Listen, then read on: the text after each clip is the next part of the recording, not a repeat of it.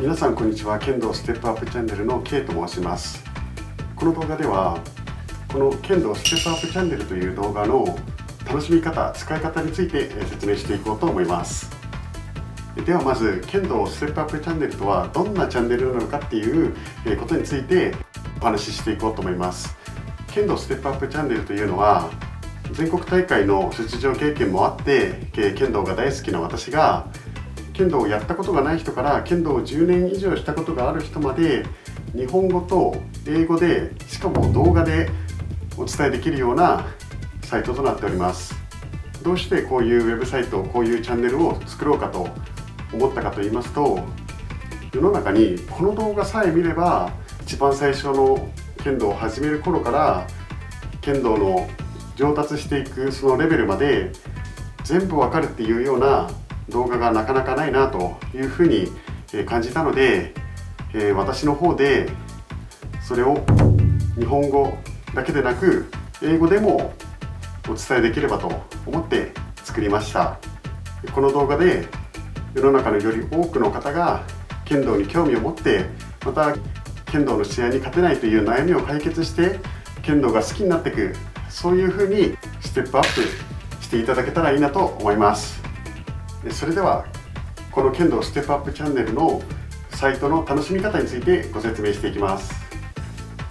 剣道ステップアップチャンネルは主に4つのページで作られています。1つ目は剣道をやったことがない方でも楽しめるような剣道のコラム。2つ目は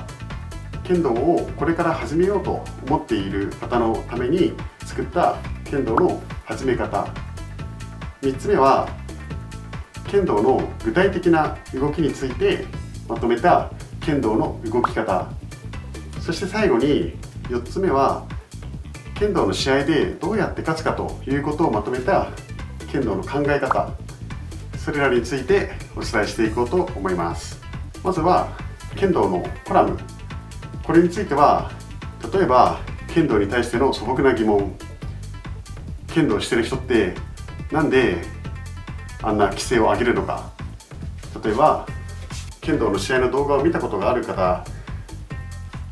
わかるかもしれませんが例えば「やー!」なんていう声を出してますよね。それがなんで必要なのかと。他にも剣道は臭いのかとかどうやったら剣道が臭くないようにできるのかとか、まあ、そういった剣道に対する素朴な疑問そういったことを楽しめるようにこの剣道のコラムというものを作っています。次に剣道の始め方ですね。剣道の始め方は例えば剣道の防具の買い方剣道の防具の付け方剣道の防具の片付け方剣道のこの袴の畳み方ですとか洗い方そういう剣道を始めるための最初に必要な知識それらについてお伝えしていきます。で3つ目剣道の動き方なんですけれども例えば具体的な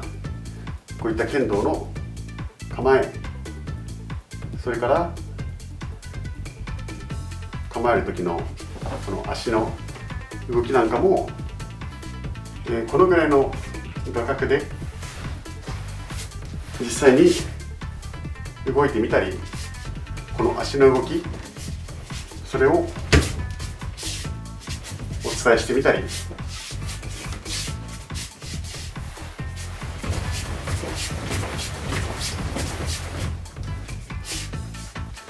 例えば面の打ち方。固定の打ち方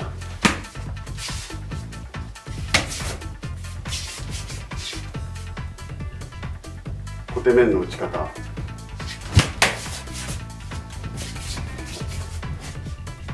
またどうしても癖でこういう右手打ちになってる剣道をまっすぐした打ちに戻す具体的なコツなどそういったことをお伝えできればと思います。そして最後4つ目剣道の考え方なんですけれども剣道はいくら早く正しく打ったとしても試合で勝てるとは限りません。例えばあなたが完璧に構えたところからこれ以上ないぐらい完璧な面をこうやって打ったとしても相手がこうやってガードしてしまえば結局弾かれてしまって1本を取ることはできません。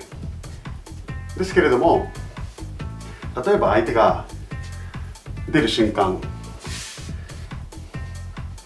こうやって防御しないで打ちに行くぞってていうこの瞬間にあなたが先に打つことができればちゃんと1本取れることができます。そういった剣道の考え方についてわからないとどうしても試合で勝つことはできませんのでそういった剣道の考え方それについてこのページでお伝えしていきます。以上剣道のコラム剣道の始め方剣道の動き方そして剣道の考え方これらをこの剣道ステップアップチャンネルの中でこのようにまとめていきますので興味がある方は是非こちらをご活用いただければと思います。また英語のページを見たい方はこのページの一番上ですね。に日本語英語というボタンがありますのでそのボタンを押すとこのように英語そして日本語に切り替わります。これで海外の方に英語で剣道を紹介することができるようにしてみましたので是非そちらもご活用いただければと思います。それでは皆さんこの剣道ステップアップチャンネルで剣道を楽しんでいってください。